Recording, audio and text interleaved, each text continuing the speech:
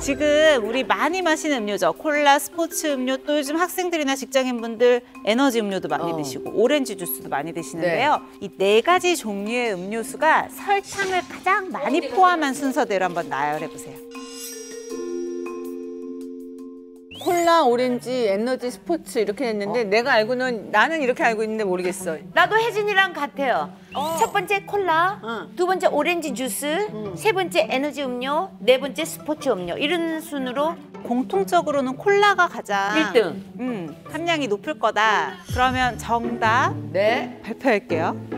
어? 네? 왜죠? 에너지 뭐래? 음료가 제일 높아? 에너지 음료, 콜라, 오렌지 주스, 아, 이게 스포츠 음료수입니다. 바뀌었구나.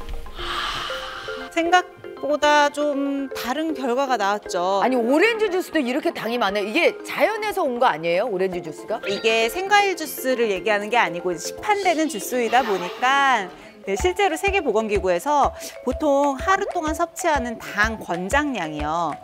50g을 넘기지 말도록 권고를 하고 있어요. 하루에 50g. 그러니까 이걸 각설탕을 기준으로 보면 17개 정도거든요. 17개.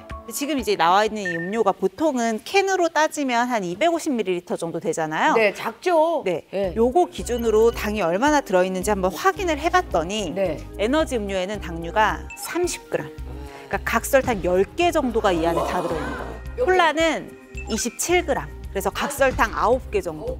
오렌지 주스. 아까 궁금해하셨는데 거기에는 당류가 24g. 그래서 각설탕 8개.